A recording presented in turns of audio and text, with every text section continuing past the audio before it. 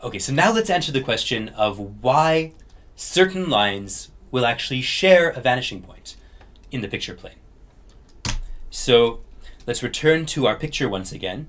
And the question is why do certain lines in space end up having images which share a vanishing point on the picture plane? Namely this line and this line. So let's take a look down the other side rail. So all this time we've been looking down this side rail. Now let's look down this other side rail. And when we do that, we will, again, look further and further along it. So we go from, and as we do that, we're going to paint out an image on the picture plane. So as we look further and further and further and further along it, once again, we end up at a limiting sight line, which is parallel to that other side rail. Except this other side rail is parallel to our original side rail.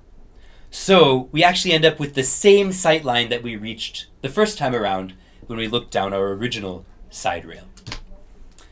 And in this way, these two parallel lines share a vanishing point. And in fact, what is that vanishing point? Well, it's the unique, um, well, it's because that limiting sight line is the unique line through your eye, which is parallel to the side rails.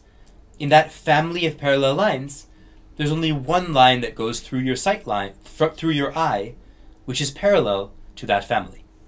If you remember your Euclidean geometry, given any line and a point not on the line, there's a unique line that is parallel to your original line running through that point. So, so as a result, the entire family will share that single vanishing point.